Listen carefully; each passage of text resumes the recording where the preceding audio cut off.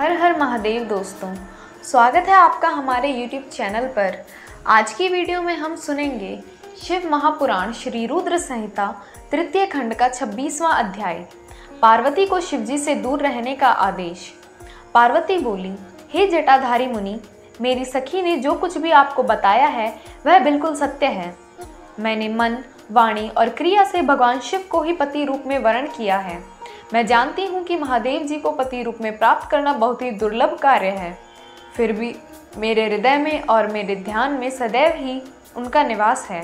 अतः उन्हीं की प्राप्ति के लिए ही मैंने इस तपस्या के कठिन मार्ग को चुना है।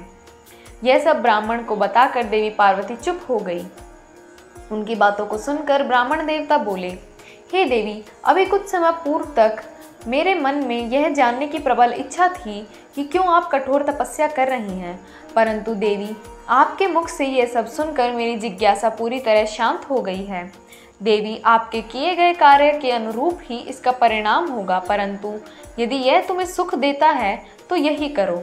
यह कहकर ब्राह्मण जैसे ही जाने के लिए उठे, वैसे ही देवी पार्वती उन्हें प्रणाम करके बोली, हे विप्रव आप कहाँ जा रहे हैं?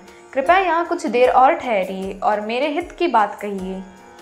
देवी पार्वती के ये वचन सुनकर साधु का वेश धारण किए हुए भगवान शिव वहीं ठहर गए और बोले, हे देवी, यदि आप वाकई मुझे यहाँ रोक कर मुझसे अपने हित की बात सुनना चाहती हैं तो मैं आपको अवश्य ही समझाऊँगा, जिससे आपको अपने हित का स्वयं ज्ञान हो जाएगा। देवी, मैं स्वयं भी महादेव जी का भक्त हूँ, इसीलिए उन्हें अच्छी प्रकार से जानता हूँ।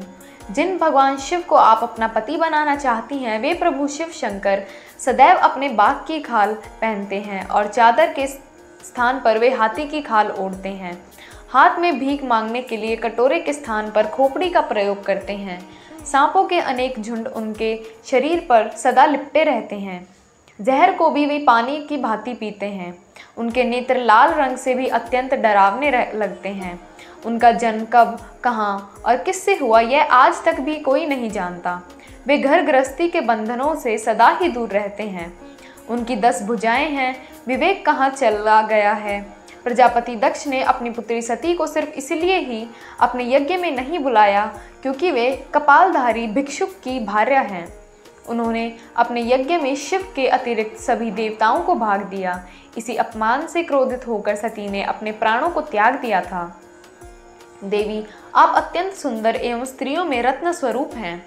आपके पिता गिरिराज हिमालय समस्त पर्वतों के राजा हैं। फिर क्यों आप इस उग्र तपस्या द्वारा भगवान शिव को पति रूप में पाने का प्रयास कर रही हैं? क्यों आप सोने की मुद्रा के बदले कांच को खरीदना चाहती हैं? सुगंधित चंदन को छोड़कर अपने शरीर पर कीचड़ क्यों मलना चाहती हैं? सूर्य के तेज को छोड़कर क्यों जुगनू की चमक पाना चाहती हैं? सुंदर मुलायम वस्त्रों को त्याग कर क्यों चमड़े के अपने शरीर को ढकना चाहती हैं? क्यों राजमहल को छोड़कर वनों और जंगलों में भटकना चाहती हैं? आपकी बुद्धि को क्या हो गया है जो आप देवराज इंद्र एवं अन्य देवताओं को, जो कि रत्नों के भंडार के समान हैं, छोड़कर लोहे को अर्थात शिवजी को पाने की इच्छा करती हैं? सच तो यह है कि इस समय मुझे आपके साथ शिवजी का संबंध परस्पर विरुद्ध दिखाई दे रहा है। कहाँ आप और कहाँ महादेव जी? आप चंद्रमुखी हैं तो शिव जी पंचमुखी। आपके नेत्र कमल दल के समान हैं तो शिव जी के तीन नेत्र सदैव क्रोधित दृष्टि की डालते हैं। आपके केश अत्यंत सुंदर हैं जो कि काली घटाओं के समान प्रतीत होते हैं। वहीं भगवान शिव के सिर के जटाजूट के विषय में सभी जानते हैं। आप सुंदर कोमल साड़ी धारण करती हैं तो शिवजी कठोर हाथी की खाल का उपयोग करते हैं। आप अपने शरीर पर चंदन का लेप करती हैं तो वे हमेशा अपने शरीर पर चीता की भस्म लगाए रखते हैं। आप अपनी शोभा बढ़ाने हेतु दिव्य आभूषण धारण करती हैं तो शिवजी के शरीर पर सदैव सर्प लिपटते रहते हैं।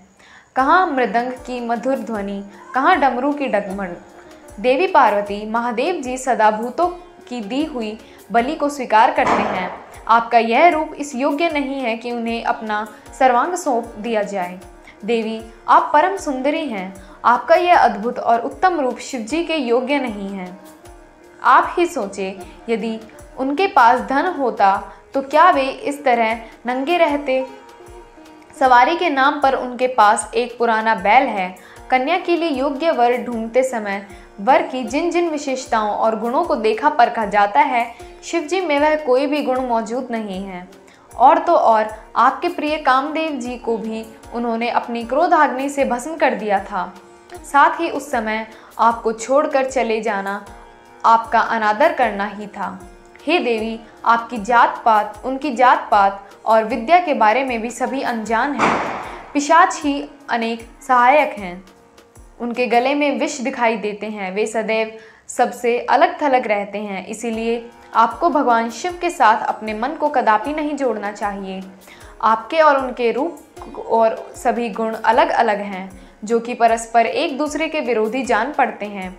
इसी कारण मुझे आपका और महादेव जी का संबंध रुचिकर नहीं लगता है। फिर भी, जो आपकी इच्छा हो वैसा ही करो। वैसे मैं तो यह सोचता हूँ कि आप असत ही और और अपना मन हटा लें। यदि यह सब नहीं करना चाहती हैं तो आपकी इच्छा, जो चाह करो। अब मुझे और कुछ नहीं कहना है। उन ब्राह्मण मुनि की बातों को सुनकर देवी पार्वती बहुत दुखी हुई। अपने प्राण प्रिय त्रिलोकनाथ शिव के विषय में कठोर शब्दों को सुनकर उन्हें बहुत बुरा लगा। वे मन ही मन क्रोधित हो गई। लेकिन मन ही मन यह भी सोच रही थी कि शिव के सौंदर्य को स्थूल दृष्टि से देखना, परखने का प्रयास करने वाले कैसे जान सकते हैं?